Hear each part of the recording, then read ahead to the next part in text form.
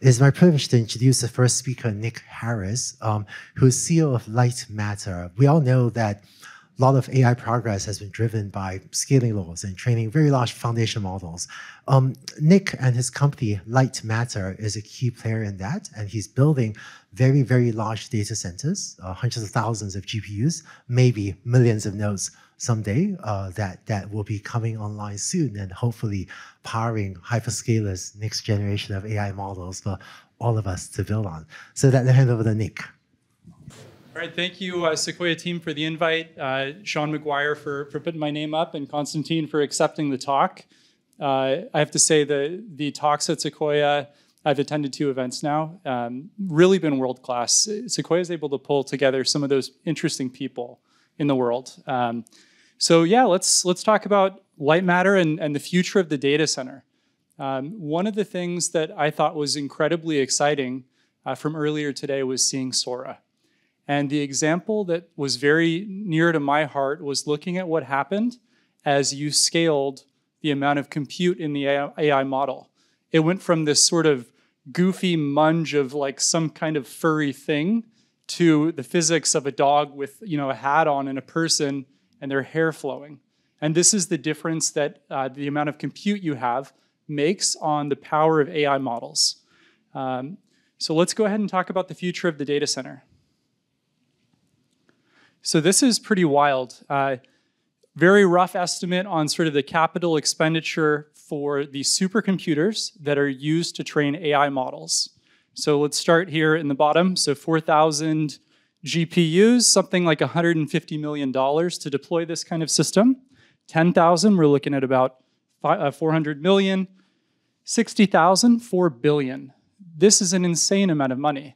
Um, it turns out that the power of AI models and AI in general scales uh, very much with the amount of compute that you have.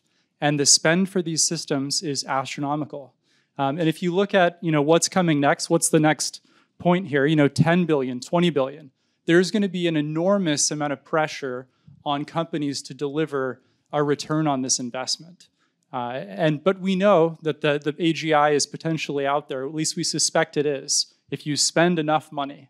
Uh, but this comes at a very challenging time.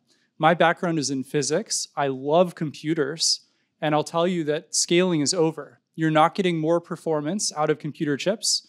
Uh, Jensen had GTC announcement yesterday, I believe, where he showed a chip that was twice as big for twice the performance. And that's sort of what we're doing in terms of scaling today.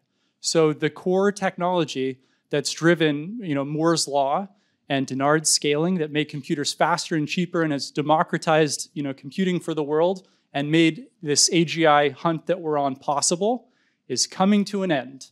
So at Lightmatter, what we're doing is we're looking at how do you continue scaling? And everything we do is centered around light. We're using light to move the data between the chips, allow you to scale it to be much bigger so that you can get to you know, 100,000 nodes, a million nodes and beyond. Try to figure out what's required to get to AGI, what's required to get to these next gen models. So this is kind of what a present day supercomputer looks like. Uh, you'll have racks of networking gear and you'll have racks of computing gear. And there are, you know, a lot of interconnections when you're inside one of the computing racks. But then you kind of get a spaghetti, you know, a few links over to the networking racks and this very weak sort of interconnectivity in these clusters. And what that means is that when you map a computation like an AI training workload onto these supercomputers, you're basically having to slice and dice it so that big pieces of it fit in the tightly interconnected clusters. You're having a really hard time scaling getting uh, really good unit performance scaling as you get to you know 50,000 GPUs running a workload. So I would basically tell you that a thousand GPUs is not just a thousand GPUs. It really depends how you wire these together, and that wiring is where a significant amount of the value is. This is present day data centers. What if we deleted all the networking racks? What if we deleted all of these? And what if we scaled the compute to be 100 times larger? And what if instead of the spaghetti we have linking everything together, what if we had an all to all interconnect? What if we deleted all of the networking equipment in the data center? This is the future that we're building at Lightmatter.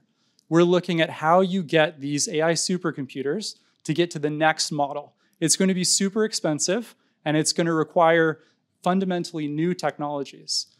And this is the core technology. This is called Passage, and this is how all GPUs and switches are going to be built. Um, we work with companies like AMD, Intel, NVIDIA, Qualcomm, places like this, and we put their chips on top of our optical interconnect substrate. It's the foundation for how AI computing will make progress. It will reduce, in, it'll reduce the energy consumption of these clusters dramatically, and it will enable scaling to a million nodes and beyond. Um, this is how you get to wafer scale, the biggest chips in the world, and this is how you get to AGI.